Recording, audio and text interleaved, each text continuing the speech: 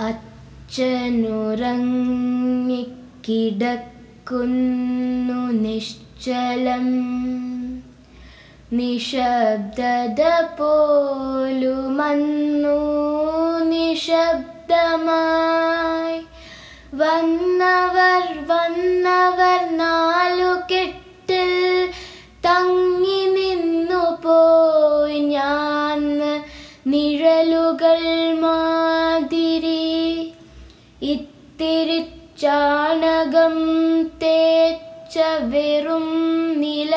നിലത്തച്ഛനുറങ്ങാൻ കിടന്നതെന്തിങ്ങനെ? വീടിനകത്ത് കരഞ്ഞ് തളർന്നമ്മ വീണുപോയി നേരം വെളുത്ത നേരം മുതൽ വാരിയെടുത്തെന്നെയുമ്മ വെച്ചമ്മയെന്നോരോന്നു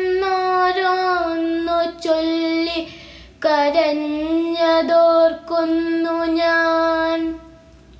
നൊമ്പരം കൊണ്ടോ വിതുമ്പി ഞാൻ. എൻ കളിപ്പമ്പരം കാണാതിരുന്നതു കാരണം. വന്നവർ വന്നവരെന്നെ നോക്കിക്കൊണ്ടു നിന്നു നെടുവീർപ്പിടുന്നതെന്തെങ്ങനെ? ഒന്നുമെനിക്ക് മനസ്സിലായില്ല അച്ഛനിന്നുണരാത്തതും ഉമ്മ തരാത്തതും ഒച്ചയുണ്ടാക്കുവാൻ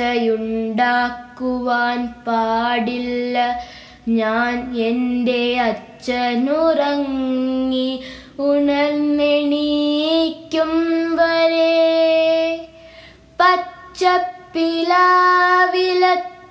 പച്ചപ്പിലാവിലത്തൊപ്പിയും വെച്ചുകൊണ്ടച്ഛന്റെ കൺപീലി മെല്ലെ തുറന്നു ഞാൻ. പെയ്തു തോരാത്ത മിഴികളുമായി എന്റെ കൈ തട്ടി മാറ്റി പതുക്കയൻ മാതുലൻ.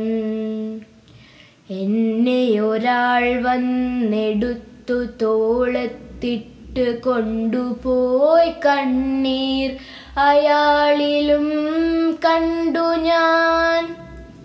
എന്തുകൊണ്ടാണ് അച്ഛനിന്നുണരാത്തതെന്നെന്നെ എടുത്തയാളോടു ചോദിച്ചു ഞാൻ.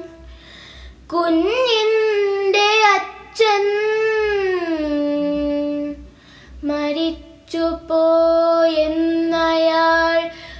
നെഞ്ഞകം പിന്നിപ്പറഞ്ഞു മറുപടി.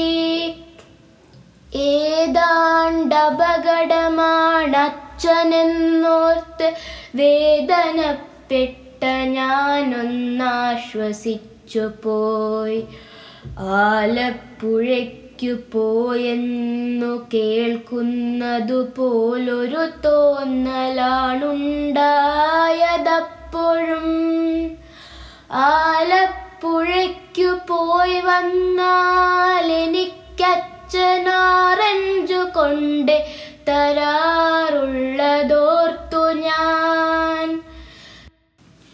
അച്ഛൻ മരിച്ചതേയുള്ളൂ.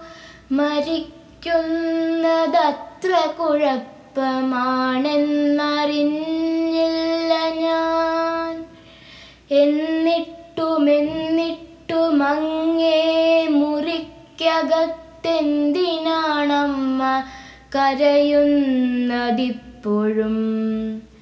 ചാരത്തു ചെന്നു ഞാൻ ചോദിച്ചിതമ്മയോടാരാണ് കൊണ്ട് കളഞ്ഞതെൻ പമ്പരം?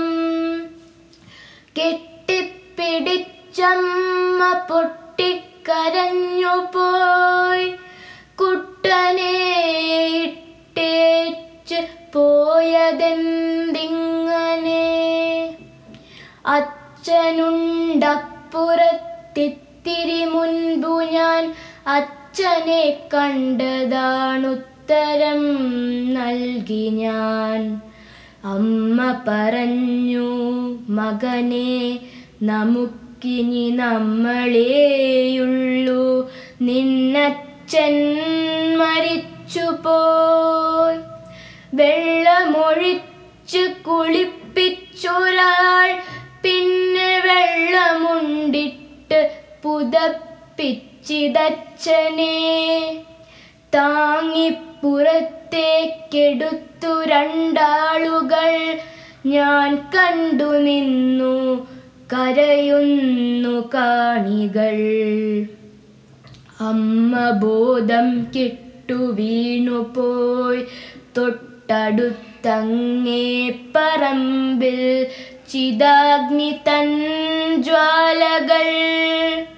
ആ ചിതാഗ്നിക്കു വലം വെച്ചു ഞാൻ.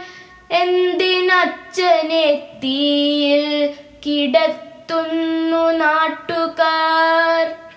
ഒന്നും മനസ്സിലായില്ലെനിക്കപ്പോഴും ചന്ദനപ്പമ്പരം തേടി നടന്നു ഞാൻ. ഇത്തിരി കൂടി വളർന്നു ഞാൻ. ആരംഗമിപ്പോഴോർക്കുമ്പോൾ നടുങ്ങുന്നു മാനസം.